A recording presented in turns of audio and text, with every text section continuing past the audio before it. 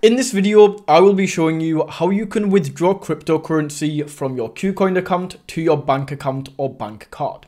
This is going to be a complete step-by-step -step tutorial, so if you follow along by the end of this video, you will be able to withdraw your funds from KuCoin to your bank account or bank card.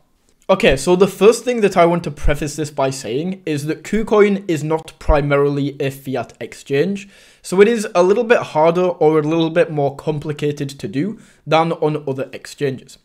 Either way, it is possible and I will show you how you can do this in this video. So the first thing that you want to do is just come over to KuCoin right here. And then if you go over to this asset tab, click on the overview, it's then going to show you an overview of your wallet.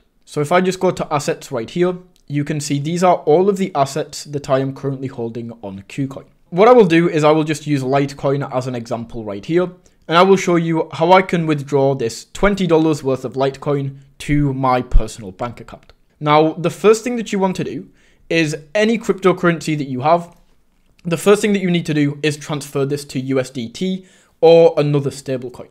I prefer USDT to do this, so this is what I'm going to use in this video. So as I said, the first thing that we need to do is get rid of this, get rid of Litecoin and transfer this all to USDT. So to do this, the first thing that we need to do is if you go over to account right here, you need to make sure that all of these funds are in funding. So right now my Litecoin is in my trading account. I want to transfer this over to funding. So to do this, I simply click into my trading account right here find my Litecoin or whichever coin you want to transfer.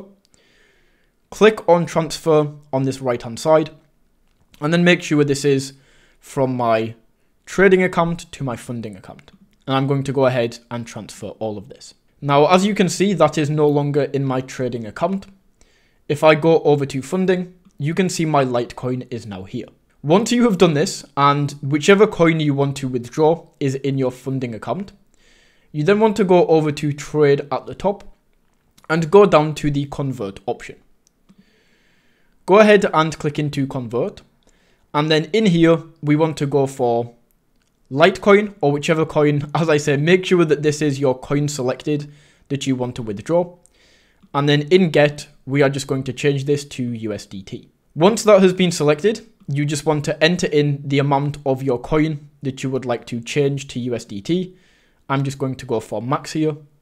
And then we can click on confirm. As you can see, my USDT has been transferred to my trading account, which is pretty annoying. I don't want that to be the case. So once again, I just go back over to assets, go to my trading account right here, and then you can see my USDT is there. So all I'm going to do is click on transfer once again. Make sure that this is going from my trading account to my funding account. And then I think it was like 19.71. I'm pretty sure that's what it was. And then all we have to do is click on confirm. So once you have this all set up, you have your USDT in your funding account. This is where we can now go ahead and withdraw this to your bank account or bank card. So to do this, what we want to do is go up to where it says buy crypto in this top left corner and click on this option for fast trade. Now, of course, we are not buying cryptocurrency, instead we are going to sell. So click on this sell section right here. And then all we have to do is choose the amount of USDT that you want to get rid of. As you can see, if I sell 19 USDT, I will receive almost 16 pounds. And then you can choose how this is received. So you can choose to go with a GBP balance, or you can choose from all of these. Now this is absolutely fantastic. We can only go with Neteller. And as you can see, there's no option to withdraw this straight to my bank. So we have to go another way about this. And this is what I mean when I say that KuCoin is not meant to be used for fiat. But as I said, there is a way to actually go ahead and withdraw this. Because I'm in the UK, I'm just going to be using GBP right here. It works the exact same way for US dollars. Uh, let me actually test something out here. If I go for USD, does this give us more options?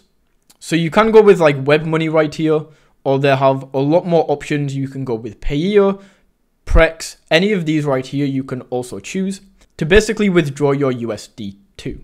I'm going for GBP. So all I'm going to do here is click on GBP balance. So if I sell the USDT, this is then going to give me, if I confirm this, as you can see, my USDT has been sold. And if I now go back over to view my assets, I now have my GBP. So from here, now that I have my GBP, what I am then going to do is go over to assets, click into this right here. And if I go to my assets now, I can see that I now have a fiat currency. So what I can now do is go over here to more, click on withdraw right here. Once again, it's going to ask you to withdraw crypto. This is not what we want to do. We instead want to withdraw fiat. And then as you can see in the fiat section, we can then choose to withdraw GBP. And this is where I can go ahead, choose my bank. So I will go for a bank transfer right here as the fee is so much less. Then in withdraw, I can choose to add an account. So I click add account. Go ahead and fill out my information right here of where I want to withdraw this crypto to. Select the amount that you want to withdraw and then click on withdraw. So as I say, they make it pretty complicated in order to actually withdraw your cryptocurrency to your bank account or card, but it is possible and that is how you can do that. If you did enjoy this video, don't forget to smash that like button and tap that subscribe button. And until next time, take it easy.